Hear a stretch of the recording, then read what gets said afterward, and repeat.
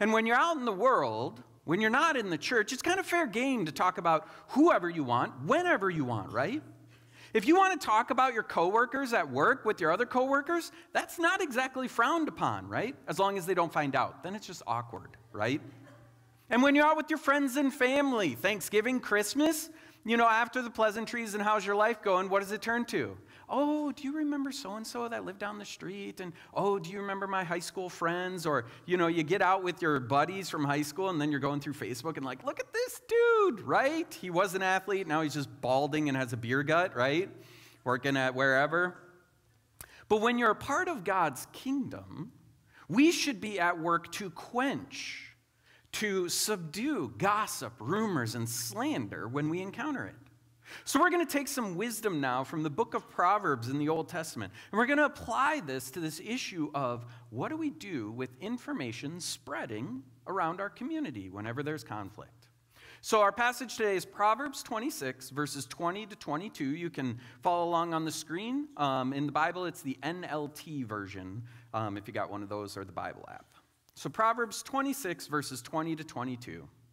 Fire goes out without wood, and quarrels disappear when gossip stops.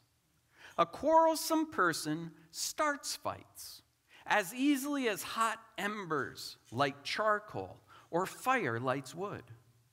Rumors are dainty morsels mm, that sink deep into one's heart. Let's pray.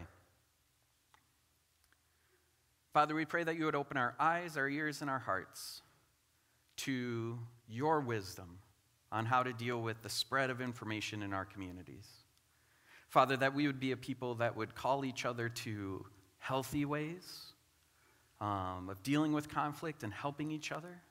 Father, that we would be the type of people that you would be honored by the way that we use our voice and the way that we talk to others.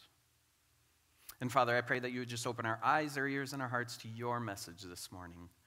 Tell us of the situations that you want us to be better at. Show us the ways that we can help our friends and family to follow a different path than the way of the world. And we pray these things in Jesus' name. Amen. I know it feels like forever ago, but do you guys remember March of 2020? right? Rumors and gossip swirling about a new virus from China, right? And this virus has videos of thousands of people getting sick over there, and the hospitals overflowing with patients, and draconian measures being put into place on the populace in China.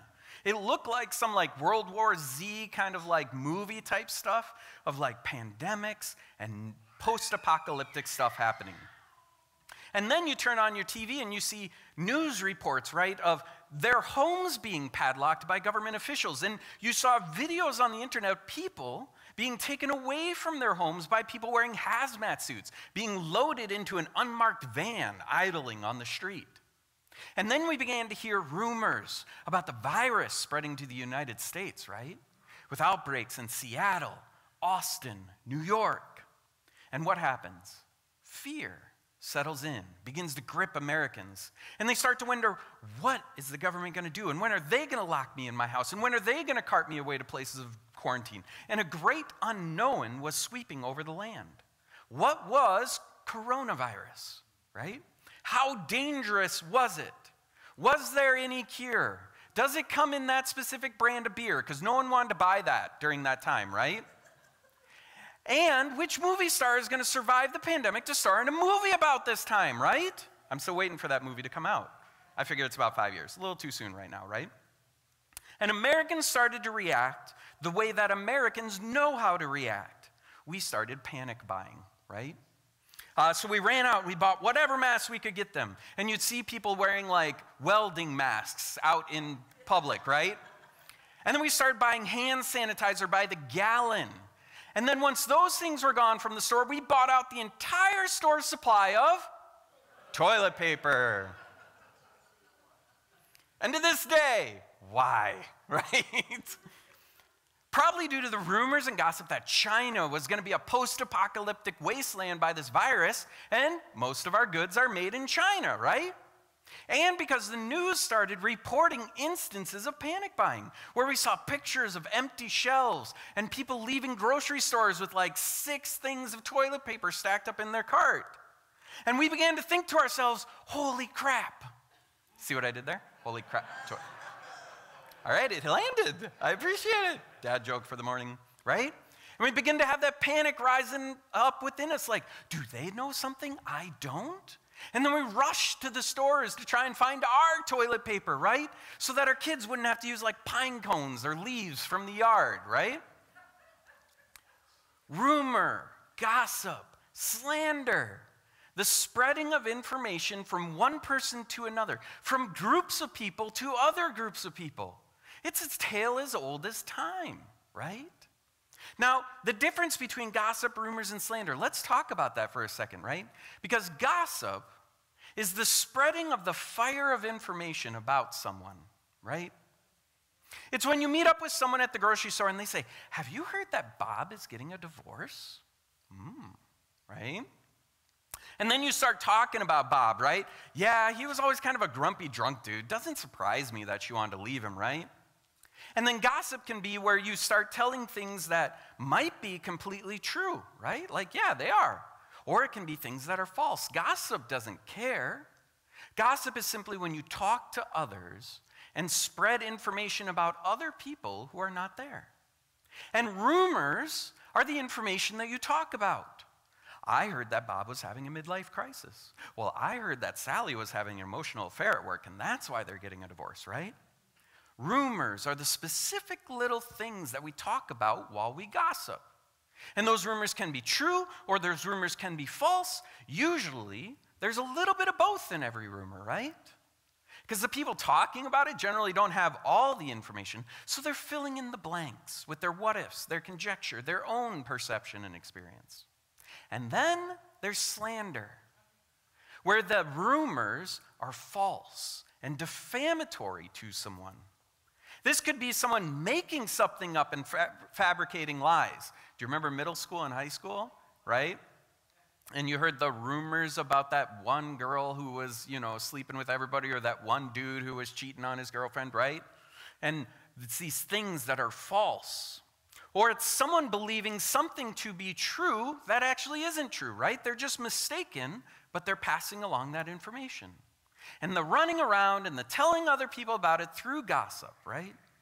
And the trouble with slander and rumor is that it's very difficult to tell the difference between the two, right? When we spread rumors, we might not have all the information behind it. It might be true, might not be. So if we spread rumors with other people through gossip, well, we might also be spreading slander against those people, wittingly or unwittingly. And, church, whenever conflict happens, well intentioned people start to talk, right? Start to gossip. Take, for instance, the picture of how this goes. Let's say Bob and Sally, and I did my stick figure drawings here, so please be gentle, right? I'm working on that whole graphic design degree thing.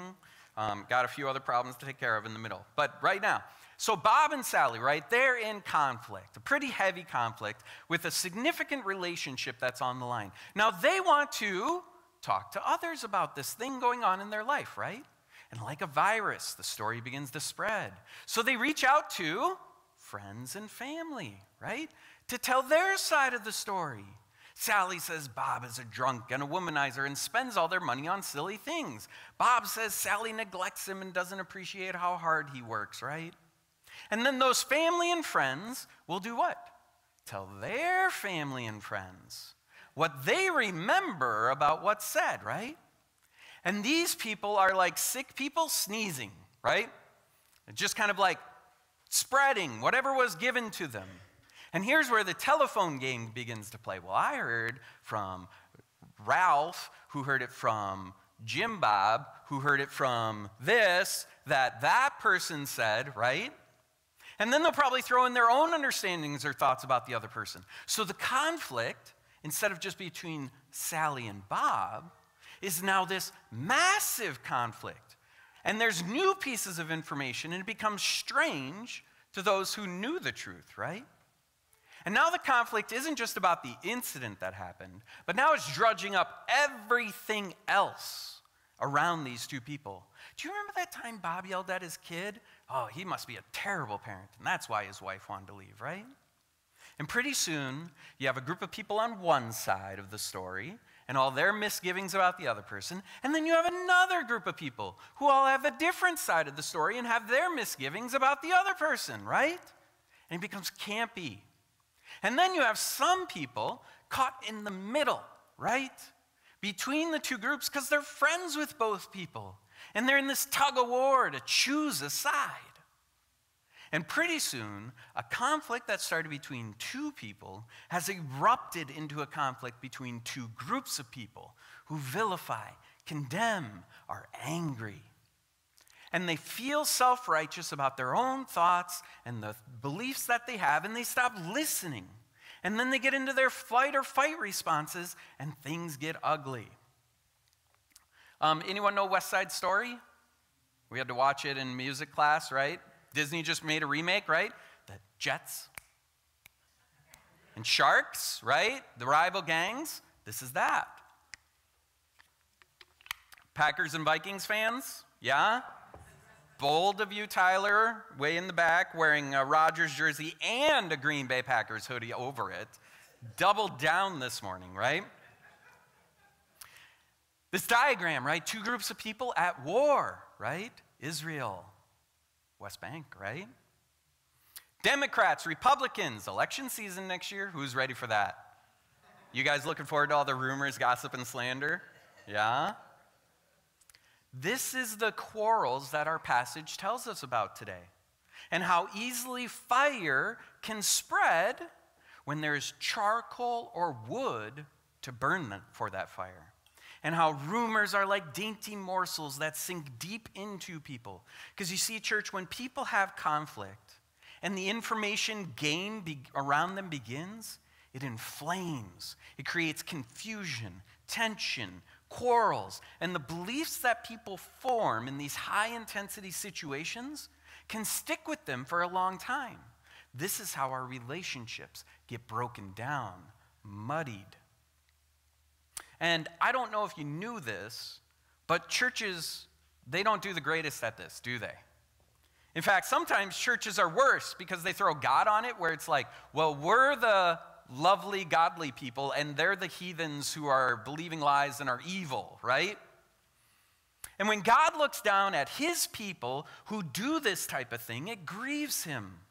And Satan is looking at us and he's just like, yeah, keep it up, guys. You're doing great, right?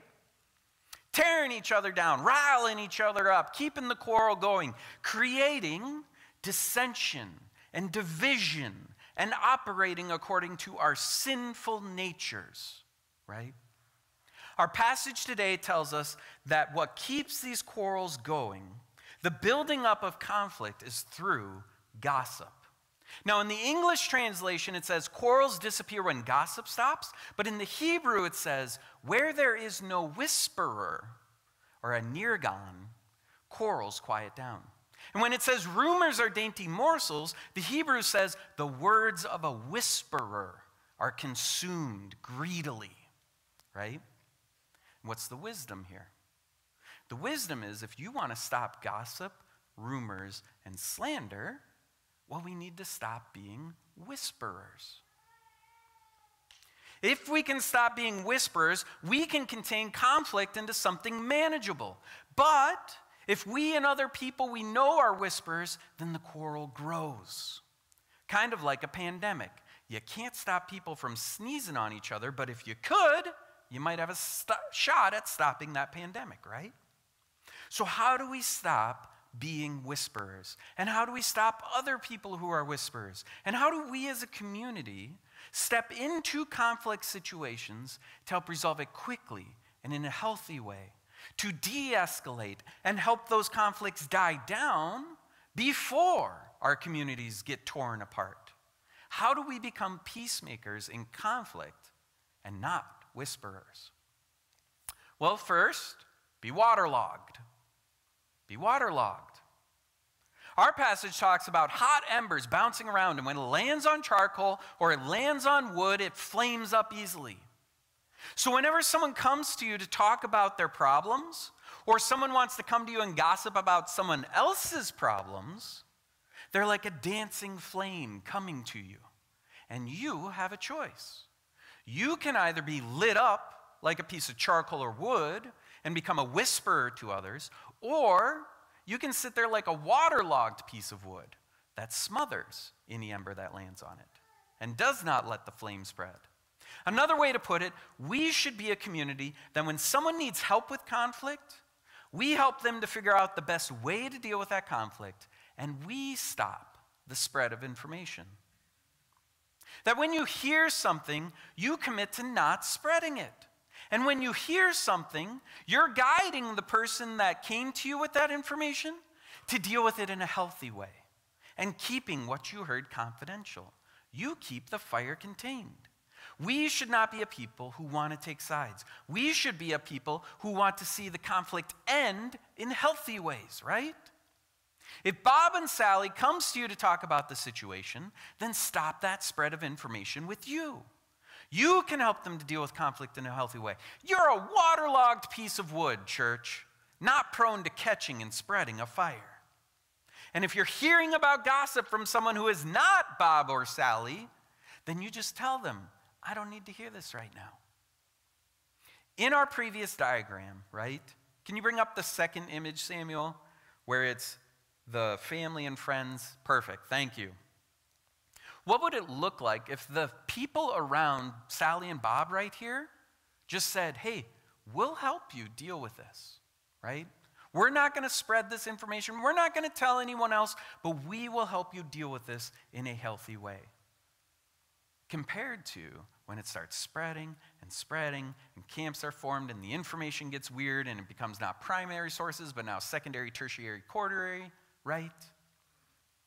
We need to reject allowing the fire to spread from us. And second, if someone approaches you and starts to gossip, if someone's being a whisperer, ask pointed questions of them. Not the type of questions that's going to lead to further gossip, right? But the type of questions that will make the whisperer think about what they are doing. These questions are for the people who hear things and they want to spread it further, right? So when a whisperer comes to you, one of my favorites is, Hey, did Sally and Bob say you could share this with me? What kind of reaction are you going to get from someone who wants to gossip from that? Yeah? You usually get that deer in the headlight look like, and they stop talking to you about it, right? But let's say they're like, oh, well, I just thought you should know, right? That's the usual defense anyway. Like, I just felt like I should share this with you. Of course you did. You're a whisperer. But anyway, right? Then it's, what do you want me to do with this information? right? And rarely is there a good answer to this question because whisperers, they just want to talk. They haven't thought about the why they're telling you. They just want to share. They just want to talk. They can't come up with a good reason why. Then, if they can't come up with a good reason why, you probably don't need to know the information, do you? And it can stop with you. And usually, if we get to this point, right, they're starting to get upset that you're asking these pointed questions, right? And they'll probably stop talking to you and won't come to you again with gossip. Win win, right, church? Win win. Asking the right questions can allow you to confront a whisper and start making them think about what they are doing in the hopes that they'll stop. So, if you're in a conflict and you need someone to talk to, church, you can seek some trusted people who can act like they're waterlogged and hold that information and help you. And if you're part of the community church and you start having people gossip or whisper things around you or to you, start asking these really important questions about permission to share things and what they want you to do with it as a way to stop the gossip. And now, third, push back with the correct way to deal with conflict, right? Instead of gossip and rumors and building up camps of believers to your cause, encourage everyone who's a part of the situation to use Matthew 18. You Guys, remember Matthew 18? Kind of a big one around here when it comes to conflict, right? This is how Jesus told us to solve it. He tells us that first, if you're in conflict with someone, you should go to that person one on one and try and resolve it. The two people in the conflict should sit down and try and work it out as long as it's a safe place to be. But if that doesn't work, then they should get two or three witnesses or neutral people to come alongside and listen to what's going on and provide wisdom and counsel and guidance about what they can do. These are like the most waterlogged people in your church that you can think of, right? The somber, the wise people that you want to listen and help you resolve it. And then, if that doesn't work and the conflict is not resolved, Jesus tells you, bring it to the church, right? Sin announcements, Sunday morning, we've had this conversation, right? After normal announcements, we'll just get up and talk about each other's sin, right? No, you can bring it to the church leadership board, right? Our board of overseers or the pastor. To see if maybe there's a need for someone to take a break from the church and the community until they can change their hearts, right? To resolve the conflict. Jesus gives us Matthew 18 because it tells us how to manage sin and conflict in the church without all the gossip, rumors, and slander. He gives it to us to reduce division and dissension that arises when we try to build camps of people. And it helps us deal with things in a more direct, healthy way as a people of God. And one last thing as a reminder, right? The whisperer people, they're usually not spreading joyful news when they're talking about other people or actions in a good way, right? Usually it's like the spreading of negative things. Like, you don't really hear people gossiping about, like, hey, did you know that Judy bought a watermelon from the store? I mean, watermelon's juicy, but that is not a juicy tidbit, right? Right? They're trying to spread the tantalizing stuff, the really good stuff, right? So, whenever a whisperer comes along, and you've asked the probing questions to make them stop, and you've reminded them of Matthew 18 and how we as a community should be directing people in conflict to that system that Jesus commanded us to, then we need to remember to speak blessings of everyone involved. Remind the whisperer how we're all made in God's image, right? We all make mistakes. We're all broken people in many ways. Why do you think there's conflict in the world? Are any of us perfect? But we're all trying the best we can with what we have. We're all trying to follow Jesus as best as we can. And so you can point to stories about Sally and her heart for Jesus, and you can speak about the good things of her. And you can point to stories about Bob that speak of his heart and the good things in his life. And, church, it's like the anti whisper, right? The juicy tidbits you're now giving out are blessings and people's hearts and the beauty that God is doing in them. And in this way, you're resisting the urge to join a camp or join a side because what you're doing is you're saying, we're all part of the same family here, right? We're all God's people. Yeah, we mess up. Yeah, we got some juicy tidbits that people would love to know about us. But that's not the point of our community. The very thing a whisperer wants you to do is to join them or join their side. And you're rejecting that. You're dispelling the notion that there's an us and a them. You're breaking down the wall of we're the good guys and they are the bad guys. You're reminding the whisperers the values we hold dear at Branchline that everyone is created in God's image. And when conflict arises, we deal with it in a healthy way. And we're going to choose the ways of Jesus, and we're going to pursue the fruit of the Holy Spirit in our actions instead of giving in to our sinful natures that lead to division and dissension. So evident, guys, in the us versus them of politics and sports fans and wars, right? And we turn our community into a safer place, free from gossip, rumor, and slander. And we want to turn our community into a place when conflict happens, we all know how to put out the fire, right? And stop it from spreading. So let's pray.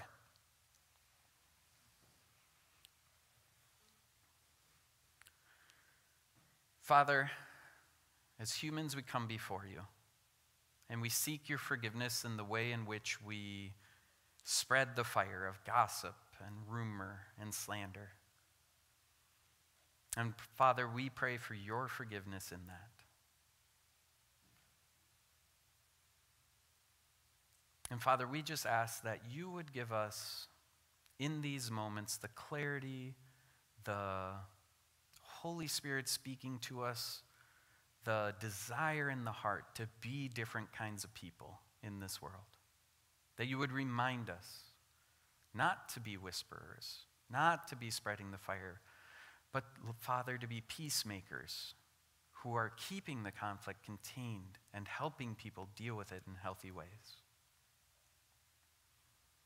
And Father, we just pray for all of the conflicts in our life, for all of the people that we're currently upset with or they're upset with us. Father, we just pray that you would work to soften hearts. Our hearts first, and Father, if you can, their hearts as well. We pray, Father, that we would show them your mercy, your grace, your forgiveness, your love, and not to follow our sinful ways of wanting to speak bad or to feel self righteous or any of that. Father, you've called us as your church to share the gospel of your Son, the weight of your forgiveness for us while we are yet in sin. And we pray that you would just make us into your people, people that you would be proud of, people that Satan hates and isn't cheering on. And Father, we just love you. We thank you for your words that give us wisdom and guidance. And we pray as we go from this place that you would just continue to walk with us. And we pray these things in Jesus' name. Amen.